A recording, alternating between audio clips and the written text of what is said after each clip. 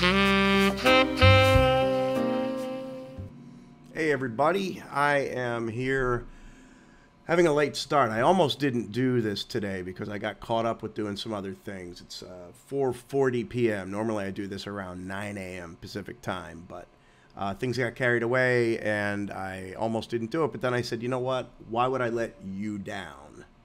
Right? Why would I let you down?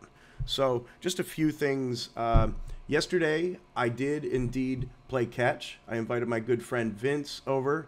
Uh, we were typically have our uh, movie night once a week. We still do that through the uh, through this recession COVID thing. So we did that, and uh, my neighbor Tony came out, and the three of us had a three-way game of catch for about a half hour. And then we had Domino's Pizza, and then Vince and I watched Shaft, which he had never seen before.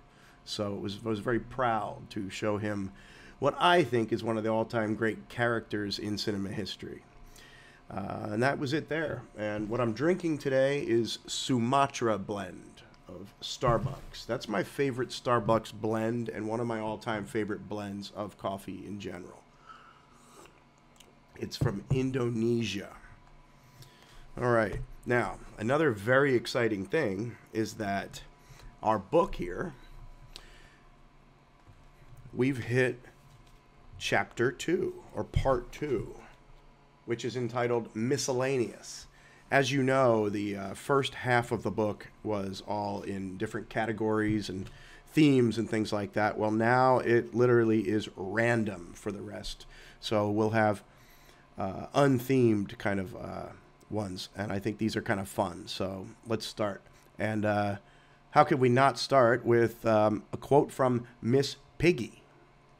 316. Never eat more than you can lift. It's great advice.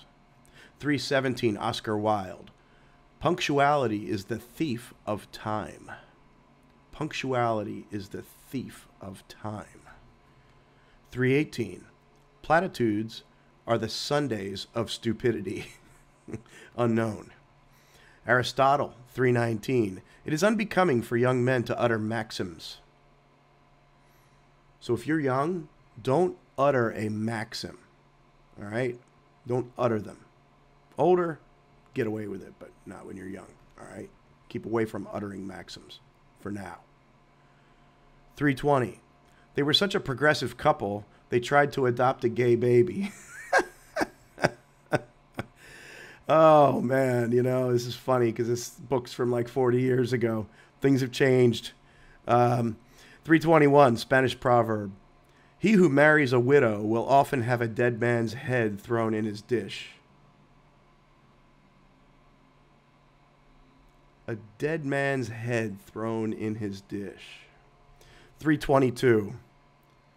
And we're going to end it with Bill Cosby, who at the time of this publication was an honored man. Um, 322. I don't know the key to success, but the key to failure is trying to please everybody.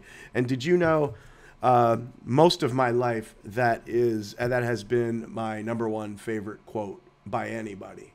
Uh, but now I'm not allowed to like it, and I'm not allowed to like him. Um, I um, ashamed of what he's done, but um, I still like some of the things that he's done. Um, the mug here is Arizona. I have an Arizona mug. Um, Arizona, I've pretty much only been to the airport and uh, possibly outside the airport, but that's about it. So this is all I have from Arizona.